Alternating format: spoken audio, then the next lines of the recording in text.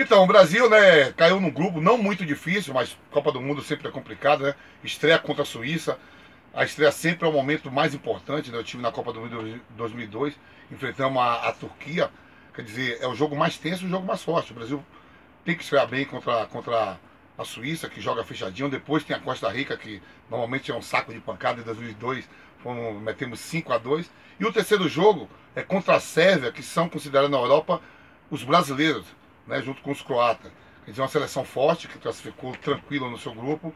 É um grupo fácil e ao mesmo tempo Copa do Mundo não é nada fácil.